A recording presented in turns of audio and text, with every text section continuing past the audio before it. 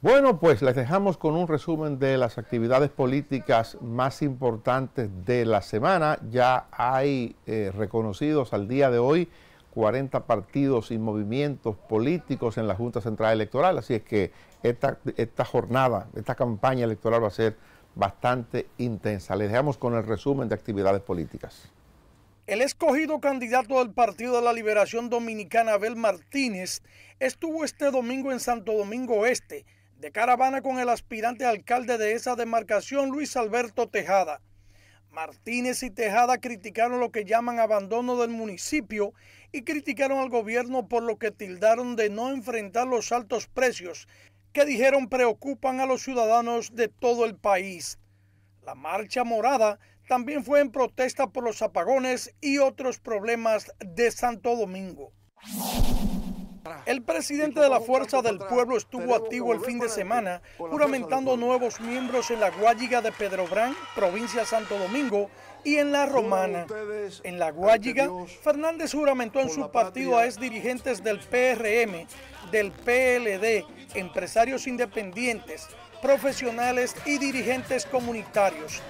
Mientras que en la Romana juramentó a la regidora Bianca van der Horst, que abandonó al PLD así como otros seguidores de ese partido, comerciantes y empresarios.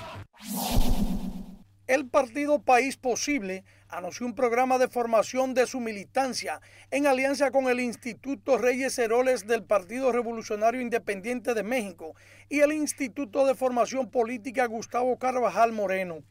El presidente de País Posible, Milton Morrison, explicó que el programa de formación comprende docencias presenciales y virtuales.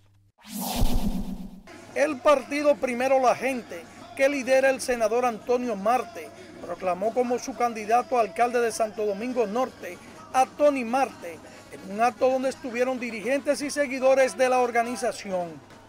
El líder de Primero la Gente dijo que Tony Marte es un dirigente que posee capacidad para dirigir con honestidad y decoro los destinos de la alcaldía de Santo Domingo Norte.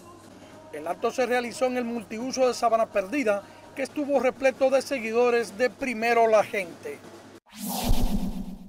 Finalmente, la empresa de generación hidroeléctrica dominicana EGI dejó iniciados los trabajos de construcción de la verja perimetral del Boulevard Tenguerengue en San Juan de la Maguana. El administrador de EGI, Rafael Salazar, dijo que con esa obra se dará por cerrado un ciclo de inundaciones, contaminación, dolor y sacrificio de los habitantes de la zona de Villaflores. Para proceso, Bernardo Núñez.